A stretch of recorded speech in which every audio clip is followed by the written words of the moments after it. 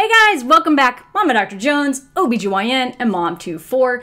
I'm so excited for this video because it's the last video of 2019, which was the year I started YouTube. It has been a crazy, awesome, amazing year, and I really have you guys to thank for that. If you're new here, I post on Monday mornings. This video is from a YouTube channel called Real Families who did a docu-series on three strange pregnancies. Today we are talking about the final one.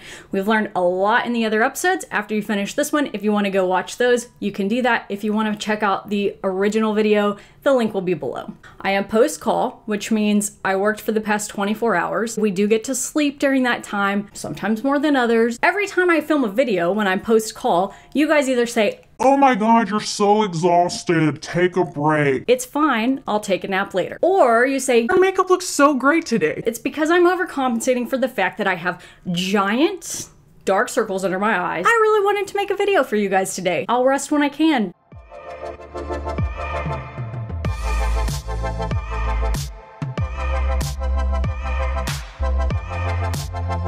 Sarah and Shane Reinfelder of Sault Ste. Marie, Michigan, are just beginning their life together as husband and wife when they get an unexpected surprise. I got pregnant within the first three months of our marriage. We weren't actually planning for kids. We were both kind of shocked. Who knows what they were doing for birth control, whether this was a birth control failure or truly they just were not using contraceptives. But I often have patients tell me we're not trying to get pregnant, but they're not using anything to prevent pregnancy. And those are kind of the same thing. There's lots of things that prevent pregnancy. I've done a whole video about all of those options. If you would like to check that out, feel free. And they said that what was happening from the cramping was that she was miscarrying. I was shocked. I had to sit there and try and tell myself, this is really actually happening. You know, you can't do anything about it. But while Sarah's at the hospital, the doctor discovers something even more devastating. She's like, well, you have two uteruses. Did you know that? They don't go into detail about how they diagnose this, but she does say that the doctor asked, Did you know you have two uteruses? Kind of an interesting question. I feel like if you knew that, you probably would have thrown that in the conversation somewhere. They also say something like, oh, this is even more devastating than the fact that she's having a miscarriage. I just would disagree with that. This is a Mullerian anomaly, meaning a change in the way that the uterus develops. We'll probably get into more detail about how that happens in just a little bit, but it's not more devastating of a diagnosis than a miscarriage. I don't like the way that they phrase that. This isn't devastating, certainly in comparison to what she's describing as a miscarriage that was heartbreaking to her. Called uterine didelphys and occurs in less than 0.05% of women in the world. Let's talk a little bit about how a uterus becomes didelphys or double. When you're a teeny tiny embryo and growing into a fetus, you have two sides of your reproductive organs that are growing and developing. Two sides of the uterus, two sides of the cervix, and two sides of the top two thirds of the vaginal walls. And as the tiny embryo is developing, they grow together and then they fuse in the middle. And once they fuse in the middle, septum part where they've grown together goes away and they become one structure. If anything goes wrong in the course of those two sides coming together and losing their separation, you can have a variety of different structures related to this. What happens at the same time as the uterus coming together is the kidneys are developing. So oftentimes patients who have a problem with the development of the uterus, even though they aren't physically connected, they'll also have either one kidney or an abnormal kidney or something like that because something just went awry in the time of embryologic development when those things are happening. Hearing, the inner ear, also develops at the same time. Those three things can kind of go hand in hand. That is why you miscarried. I would say that based on what they've told us here, you can't decide that she definitely miscarried because of this just with an early miscarriage. The muscle tends to be thinner and weaker, almost always resulting in miscarriage or preterm delivery. She told us because of my uterine abnormality that I was probably never going to be able to have kids in my life, ever.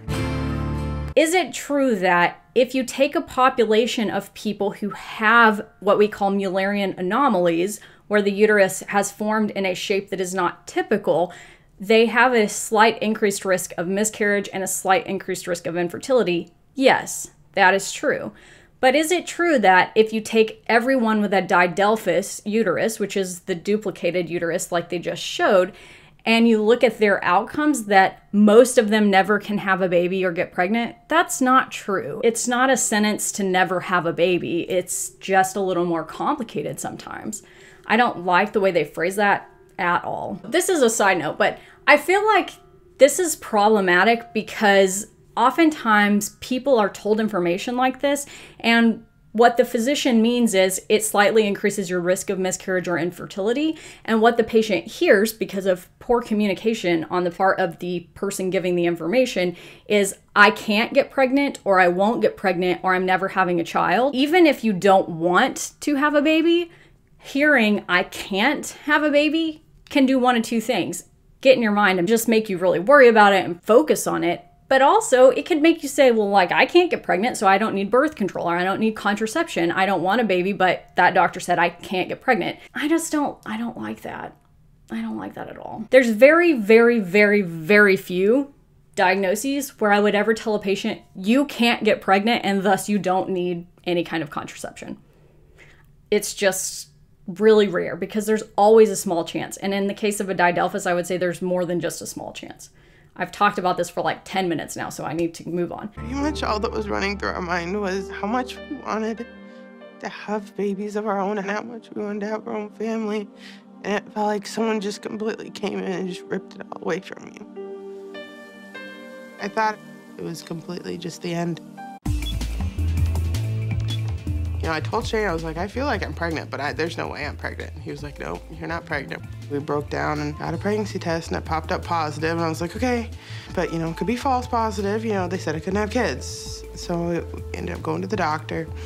Sure enough. Okay, case in point. However, this information was initially conveyed to them and what I would venture to say is inaccurate honestly, was confusing. She both thought, I can't get pregnant and I will never carry a pregnancy.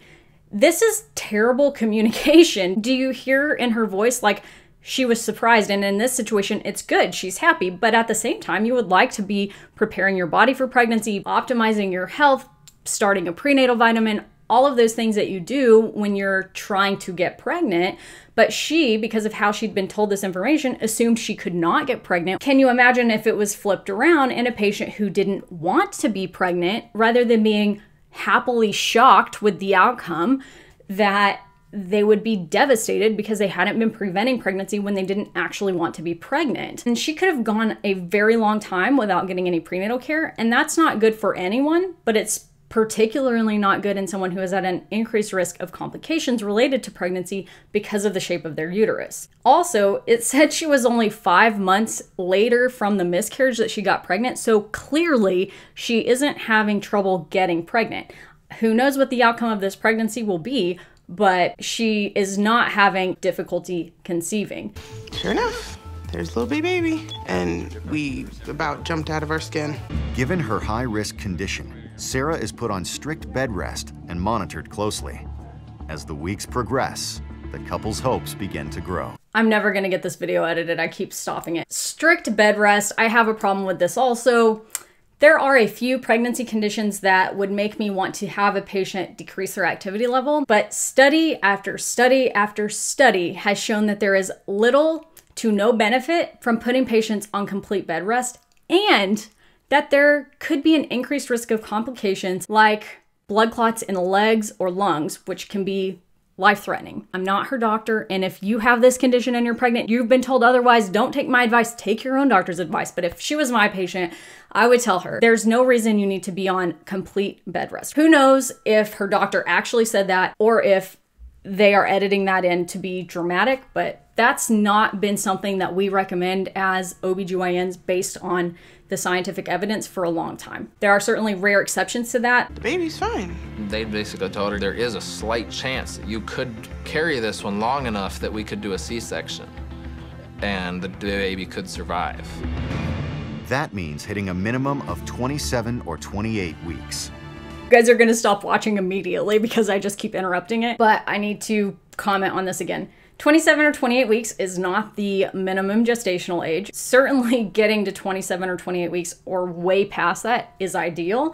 But what we call viability is 24 weeks. 23 to 24 weeks is considered peri-viability, meaning there's a subset of babies that are big enough that they have survived at that gestational age. It's largely dependent on birth weight and not gestational age because gestational age is a little bit inaccurate. The biggest predictor of how well a very preterm baby does is largely its weight. So I know they just said that in passing, but it's not right. And I don't like when these shows put inaccurate information. I feel like this is the most inaccurate one yet, and we're only a few minutes in, so we better keep watching. Defying all odds, Sarah makes it. And on April 8th, 2008, she and Shane welcome a healthy 6 pound, 10 ounce baby William into the world. We had our little family and we were happy with it. I don't know what that picture was that they just showed, but that wasn't a healthy six pound baby boy. I'm going to go out on a limb and guess that they're about to talk about another pregnancy in which she has a very preterm baby. I don't know if that was purposeful foreshadowing or someone just threw the photo in, but that's not a healthy six pound term baby.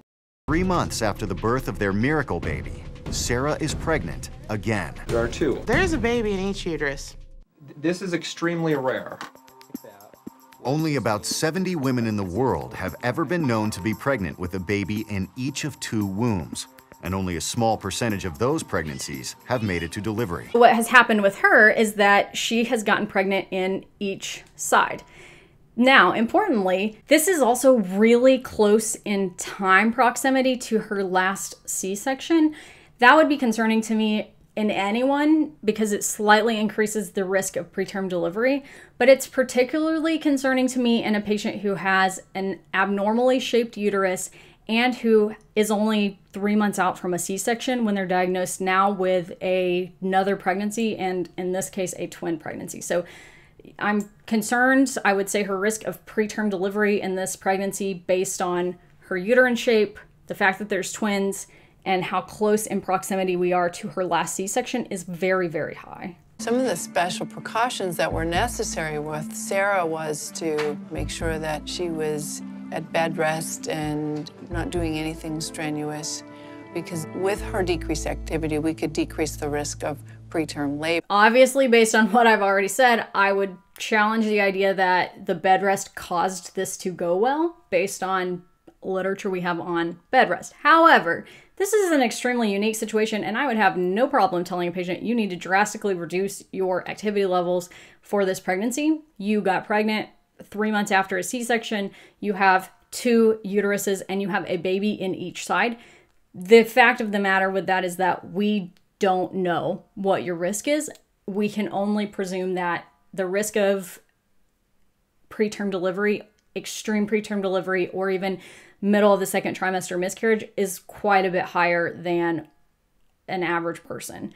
Here is a study, and it says basically in a review of literature in twin pregnancies, bed rest slash reduction of physical activity does not prolong gestation. I think in a really high risk pregnancy like this, where you have multiple things increasing your risk of preterm delivery, that being on strict bed rest increases your risk more than it's worth, but that reducing your activity level or not performing strenuous activities makes sense because there's no evidence of harm right now. So I'm good with that, but again, I just want to say literature is not supportive of complete bed rest and we can cause harm with it. So I don't know, maybe I'm just um, overzealous with that, but I just I think it's not okay. Doctors Hedmark and Pond know they must prepare for the delivery of two babies from separate uteri, something few doctors in the world have ever done before.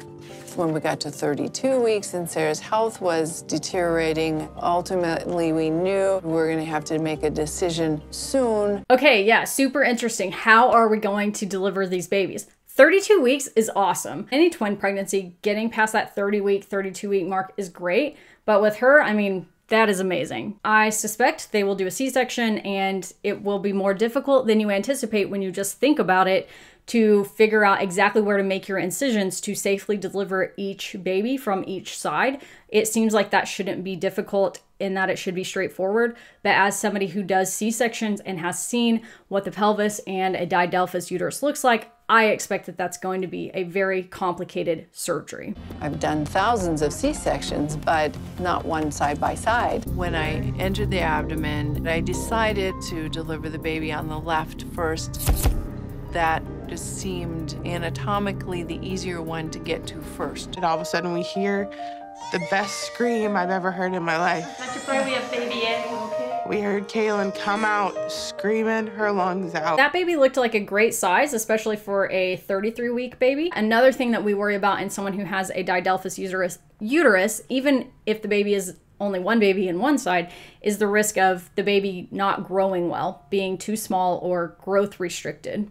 So I don't know, they haven't said the sizes, but that baby in the pictures looked to be a decent size for that gestational age.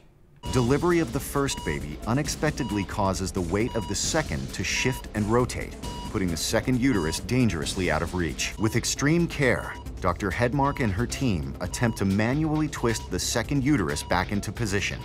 Just focus. You focus on what you know you need to do, and you just concentrate. I like what she said about you just focus and do what you need to do. That's kind of how I pr- approach emergencies. If you let it get in your head, like, oh my gosh, there's a baby here, this is a life, something terrible is going to happen, all these things can go wrong, like, you're not going to be a good physician or a good surgeon. And so you just have to look at the situation, take it all in, figure out what needs to be done, and get it done.